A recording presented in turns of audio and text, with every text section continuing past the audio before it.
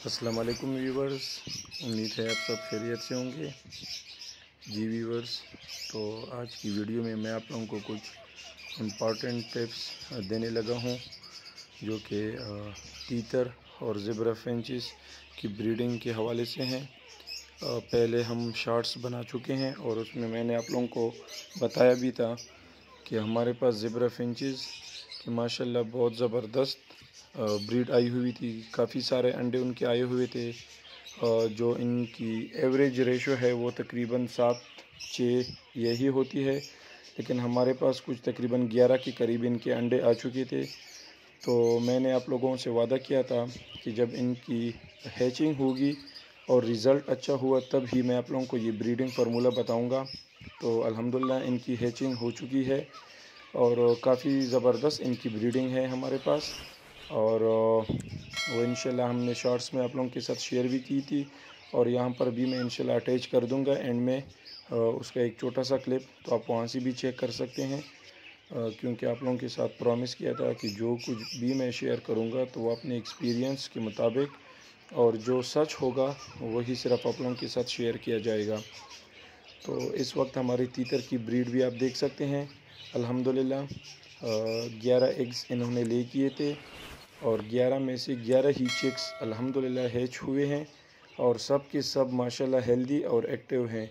इनमें से कोई भी चिक मज़ूर या उसमें कोई किस्म, किसी भी किस्म की कोई डिसेबिलिटी नहीं ही है।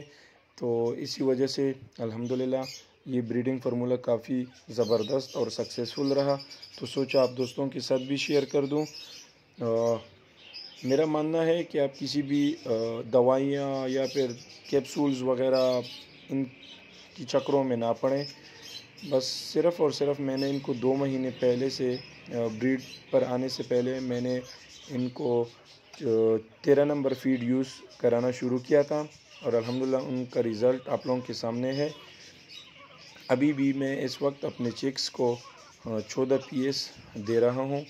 आप लोगों ने स्क्रीन पर भी देख लिया था। एक छोटे से बर्तन में मैंने इनके लिए चौदह पीस जो कि कमर्शियल पैलेट्स हैं, उनको ग्राउंड करके इनको दे दिया है। ये लम्ब्स थोड़े बड़े होते हैं तो ये चिक्स आसानी से उनको नहीं खा सकते, इसलिए ग्राउंड करना पड़ा। और ये इनके लिए काफ़ी ज़बरदस्त, काफ़ी हेल्दी इनके लिए होते हैं।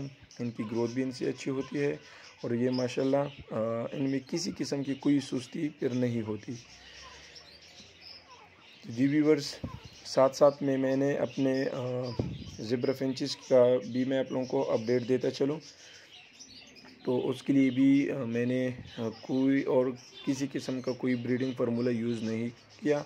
अलबत् जो एक एक्सपेरिमेंट के तौर पे मैंने लिया मैंने सोचा, देखते हैं रिज़ल्ट क्या निकलता है इसका।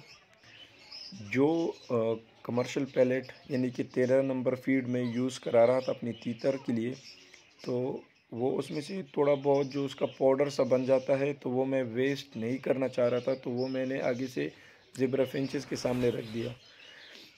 एक एक्सपेरिमेंट के तौर पे कि ये काते हैं या नहीं, और काते हैं तो उनका रिज़ल्ट क्या निकलता है।